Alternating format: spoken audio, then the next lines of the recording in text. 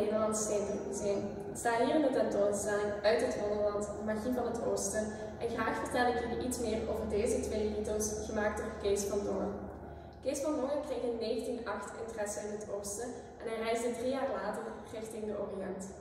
Het was met name de Egyptische cultuur die hem erg veel invloed bracht in zijn eigen oeuvre. Dit zien we bijvoorbeeld in de eenvoudige lijnen die hij gebruikt, als ook het buitenproportioneel oog. Kees van Dongen erkend als de kunstenaar van de grote ogen, iets wat hij dus meepakt uit het oosten.